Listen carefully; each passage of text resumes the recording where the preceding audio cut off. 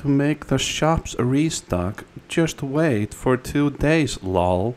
Wait for 24 hours two times in a row, and the shops will be restocked. so, if you want the shop to restock, just wait for two days or 48 hours, and all of a sudden, the shopping person will have all her money back and uh, random items, whatever. And then you can give her some green Kool Aid to get your money back if you want it back.